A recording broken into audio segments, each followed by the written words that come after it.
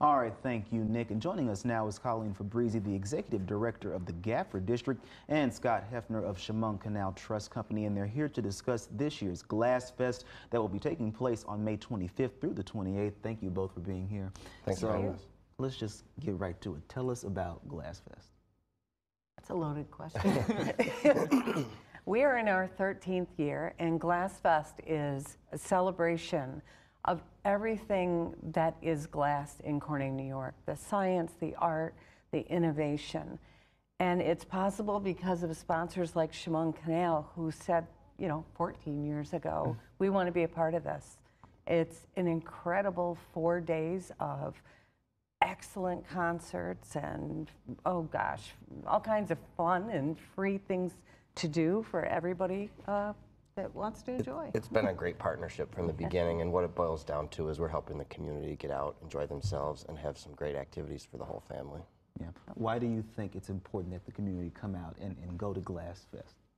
Well, uh, you know, the past couple of years, we went from a full-on Glass Fest experience in 2019 to a virtual experience in 2020. Uh, came out a little bit in 2021 with a hybrid model. Back a little bit last year. This year, it is 100% Glass Fest.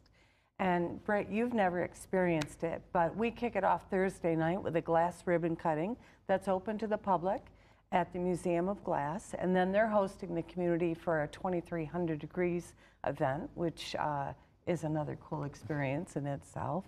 And then we have our concerts kicking off Friday night with Fuel. And then Saturday night, a new partnership with Civic Music. We're going to have classic albums live on the Rock the Park stage, provided by another great sponsor, Simmons Rockwell. And then we wrap it up on Sunday with uh, a local talent, uh, Isaiah Smallwood. So, you know, the stage is going to rock, and then we have our fire and fine arts show. We have live glass blowing back in Centerway Square, and metal arts demonstrations They're going to build a sculpture starting on Saturday through Sunday. I mean, there's just A little a something for lot going everybody, on. She hasn't even gotten into the Yeah. food, the vendors. The, it- it's going to be it's going to be food. great for the businesses on Market Street. Yeah. What What are you both most looking forward to? Uh, getting back to normal for me, Glass Fest was so special. It always has been special, but when the pandemic hit, there was just a little bit that wasn't there. And now that it's all back, I think you're going to see the full community come out and support it. I can't wait to see it. What about you? I've said for years, it's torn between walking the street and watching the experience unfold on the visitor's face. And, you know, wrapping it all up on Sunday when we do our Memorial Day tribute. Because absolutely none of this is possible for it not be the sacrifice of way too many people. Mm. So Absolutely. I, it's, I can't wait.